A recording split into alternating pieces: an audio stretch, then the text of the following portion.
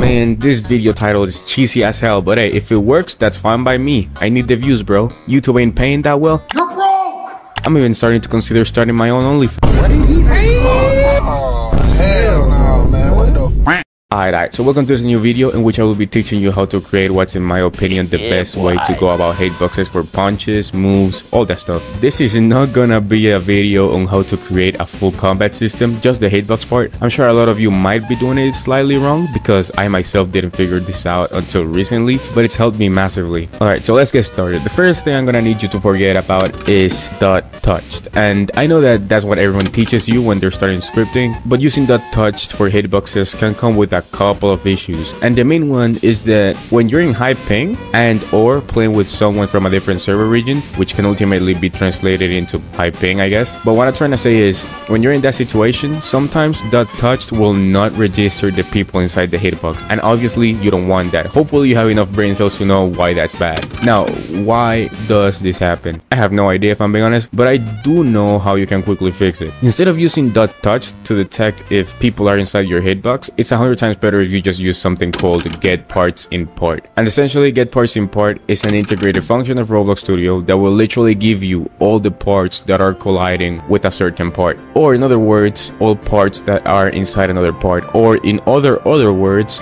any part that's touching another part. Essentially when you do this, it gives you every part that the hitbox is touching and it puts it inside a table. Now if you link that to a variable, then the variable will contain the table and you can use that to loop through the table and then just apply the hitbox function there. Now onto the second thing, when working with animation in conjunction with hitboxes, don't use task.wait or wait a certain amount of time before the hitbox spawns. I used to do this for every single one of my games and I do, for example, task.wait or wait track.length divided by 2 and then like spawn the hitbox. And this works, I'm not gonna lie, it really works, but there is a way for you to save yourself all the math and actually make the hitbox spawning at the precise moment that you want it to spawn. And that's by simply using animation event or markers, however it's called. Listen, I'm not an animator. I, I literally just learned this like a couple of weeks ago. Now, how do you do this? I only know how to do it in Moon Animator, but if you don't have Moon Animator, just search around how to add animation events or animation markers for whatever animation engine you use. I'm sure you can figure that out. Now, if you do have Moon Animator, I can help you. So open Moon Animator and open the animation of the attack. In my case, I got this punch animation here. Shout out to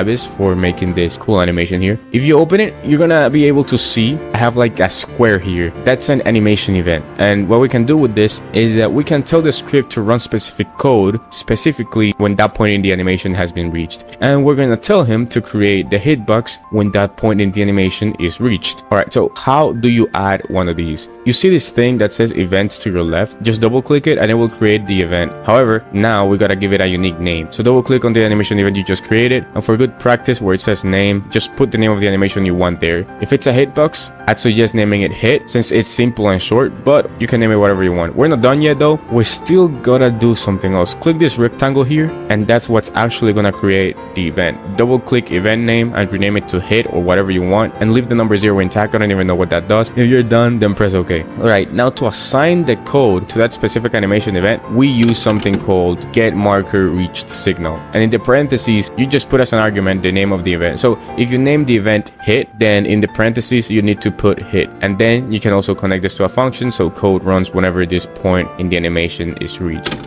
Alright, so what you're seeing on screen right now is a real example of how this code would look if you use both things I've given you here. You get the animation track, you play it, and then you use track colon get marker reach signal hit to know when the point that we want the animation to reach has been reached. We connect it to a function, we create the hitbox part. And a very important thing here is that we weld the hitbox part to the humanoid root part using a weld constraint. We do this so that we don't get any replication issues, like for example, getting the hitbox slightly misplaced. Also, make sure the hitbox property massless is equal to true. And this just makes it so the weight of the hitbox doesn't really affect anything. Make sure can collide is off so that people don't just get pushed weirdly by your hitbox. Make sure it's not anchored so it doesn't freeze you in place once it's welded to. And another tip I could give you here is when positioning the hitbox in front of the character, use this formula for the z-axis. Hitbox.size.z divided by 2 plus 0.5 multiplied by minus one. This will make sure that the hitbox is placed perfectly right in front of your character with literally no spaces in between, no matter the size of the hitbox.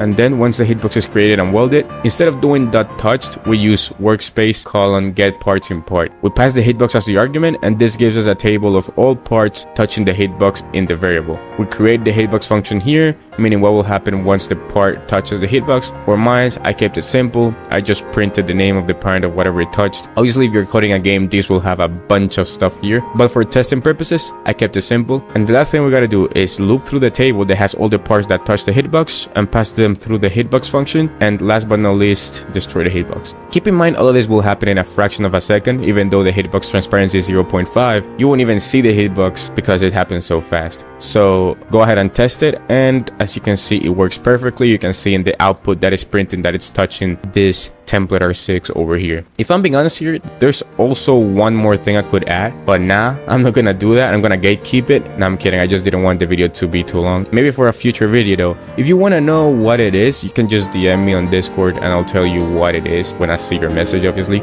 And remember, don't use dot touched and don't use task dot wait track dot length. You have been warned. Keep leveling up, bro. Be safe, and I'll see you when I see you. Peace.